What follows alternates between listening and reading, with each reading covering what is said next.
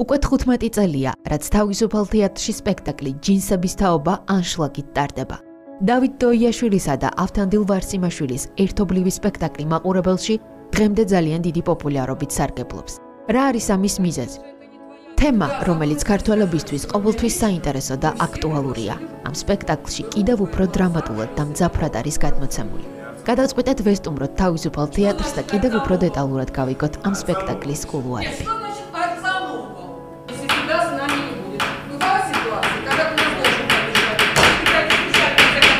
ხარი რომ მოკვდა, გარდაიცვალა. 15 წელიწადია ამ სპექტაკლს თამაშობთ. ხო, ნუ ანშლაგი თავისთავად, მაგრამ ალბათ აქცენტი უფრო იმაზე გასაკეთებელი, რომ ზოგადად 15 წელიწადია ეს სპექტაკლი არის და და მაყურებელს და თემატურად ძალიან აქტუალურია და საინტერესოა. იცი ეს რა ამბო ჩემუსკინელების ხიდიდან აა გვირთა მოედნისაკენ? მიმავალ გზაზე. მე მოგწყვიტა თბილისსა მოსკოვში გაგაგზავნა თითქოს აქვენის დავლიდით